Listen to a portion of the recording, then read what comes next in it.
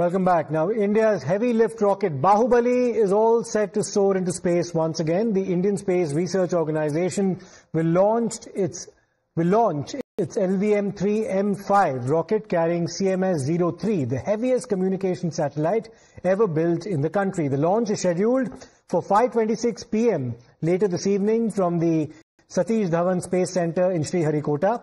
At a massive 4,410 kilograms, CMS-03 will be placed in a geosynchrono US transfer orbit, marking another milestone for India's space capabilities. The 43.5 meter tall LVM-3, which is dubbed Bahubali for its sheer strength, has uh, already been moved to the second launch pad for the final checks and fueling.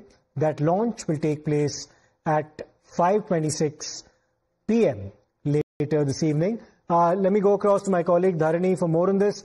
Uh, Dharani, earlier you explained to us the significance of this particular launch. Uh, what does ISRO mean when it says that CMS-03 will be placed in a geosynchronous transfer orbit? What are the implications of this particular launch, which marks another major milestone in ISRO's long list of achievements?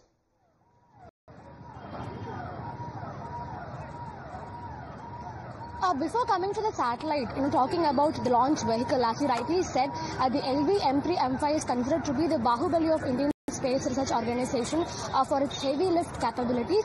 And today, the LV M3 M5 will uh, launch into space uh, CMS-03 satellite. So this is a communication satellite, and uh, this is the I just need to interrupt you there for a moment, uh, uh, Dharani, because uh, we have Mr. V. Narayanan, uh, Chairman of ISRO, uh, joining us. Uh, thank you so much, sir, for speaking to Times Now this morning. let me begin by congratulating you on the coming launch of this communication satellite, but do give our viewers a perspective on the significance of this launch and what does it mean for ISRO. Mm, thank you. So, uh, today evening 5:26 we are uh, scheduled we scheduled the next uh, launch the LVM-3 M5 rocket uh, launching the CMS-03 communication satellite. Uh, this is the heaviest satellite uh, what we are going to launch to GTO.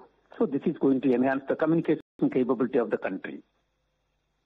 And, and Dr. Narayanan, if you could just explain what does it mean uh, for placing this particular satellite, the CMS-03, uh, in a geosynchronous transfer orbit. If you could just uh, explain that in layman no, terms we are, the. We are, we are going to this, you know, the communication satellites are supposed to be placed, mainly placed in the geo, uh, geosynchronous orbit. Uh, so there is a, you all know, there is a specific advantage of that orbit. Continuously it will be facing a portion of the Earth uh, continuously. So that is a major advantage. So the launcher will place it in the geosynchronous transfer orbit. From that, using the satellite propulsion, it will be taken to the geosynchronous orbit for right. communication purpose. And, and just a very quick follow-up to that, uh, Dr. Narayanan, uh, uh, the very weight of this particular communication satellite, it's about 4,410 kilograms. Tell us about the importance of that and why that is significant in the context of this launch. No, this is the first time we are uh, lifting the heaviest satellite. So far, we have lifted only something around 4,000 kg satellite only using this vehicle. First time uh, using this vehicle for the geo transfer orbit. Of course, we have placed heaviest satellite in the lower orbit, but then this is the heaviest satellite which is going to be lifted to the geo transfer orbit. So we have done a lot of technology demonstration for that purpose. Some improvements are done in the vehicle to place it into the secure orbit. Thank you.